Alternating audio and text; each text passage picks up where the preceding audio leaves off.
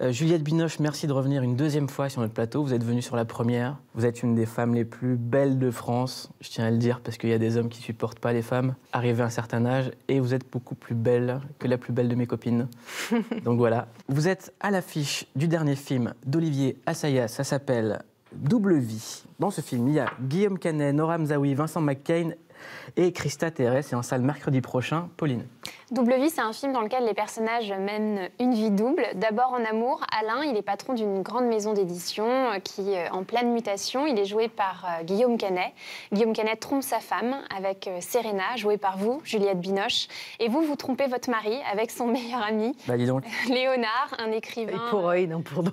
un écrivain un peu idéaliste, un peu à côté de la plaque, euh, joué par Vincent McCain, qui forme un couple un peu improbable avec euh, Nora Hamzaoui, une assistante parlementaire. Et tout ce beau monde est pris au cœur d'une grande discussion sur le progrès, sur la transformation du monde en général, celui de la culture, d'Internet en particulier. Euh, C'est un film où euh, les personnages jouent un double jeu en, ami- en amitié également. Ils sont curieux, bavards, parfois nous apparaissent sympathiques et parfois un petit peu agaçants. Est-ce qu'on peut regarder la bande-annonce? Je m'impatiente. Excuse-moi, je suis en retard. T'es jamais à l'heure. Ouais, J'étais en rendez-vous avec Laure, Chaud, hein, ça. Laure. s'occupe euh, du développement de l'édition numérique. Asseyez-vous. J'ai toujours l'impression que dans le monde de l'édition, le, le numérique, c'est un peu vu comme le diable. Vous êtes là pour bousculer un peu les habitudes. Jusqu'où Ah bah ça, c'est à vous de me le dire. J'ai vu Alain hier midi. D'accord. Comment ça va? Ça va un peu, il a l'air en forme. Ah, je suis contente. Très en forme. Super. Pour le manuscrit, donc. euh, Non, je te publierai pas, non, je pensais que t'avais compris. Ça me ferait plaisir de dîner avec eux. Enfin, je te dis que a refusé mon manuscrit. Qu'est-ce que j'y peux, moi? Allez, salut. Qu'est-ce que vous pensez de la polémique euh, qui fait rage autour de votre livre? La question, c'est de savoir si les romanciers ont le droit de s'inspirer de personnes existantes. T'es sûr qu'Alain n'a pas lu entre les lignes? Tu crois que c'est quelque chose? Ou que c'est une façon de se venger? Moi, j'aime pas la façon dont il parle des femmes. Qu'est-ce qui te gêne? Il la traite comme un objet. Ouais, C'est peut-être ça qui lui plaît. Les ventes s'effondrent. C'est dingue, les gens lisent des livres sur smartphone. Moi, je dis pas sur tablette. Parce que c'est pas ton époque. Je t'emmerde. Tu me trompes, Léonard Bah, pour- pourquoi tu dis ça? Dans un couple, le désir, c'est pas le début et la fin de tout. Je préfère vivre dans l'hypocrisie. Bah, c'est pas de l'hypocrisie, on est mariés depuis 20 ans.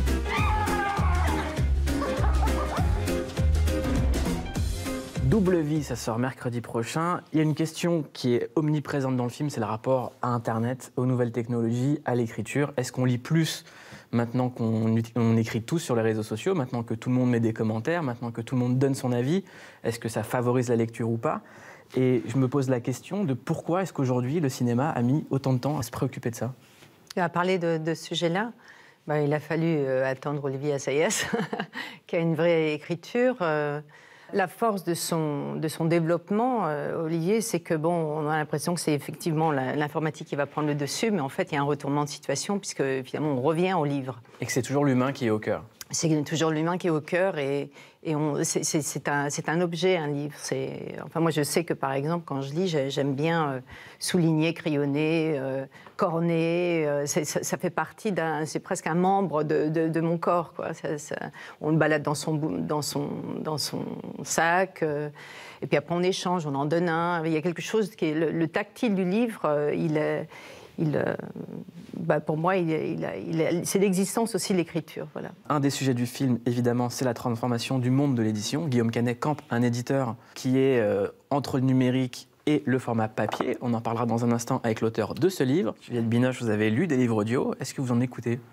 Alors en anglais, pas tellement en français, mais en anglais, euh, oui, j'en ai, j'en ai écouté quelques-uns, oui. oui. Ah, si, si, si, non, je mens, pardon.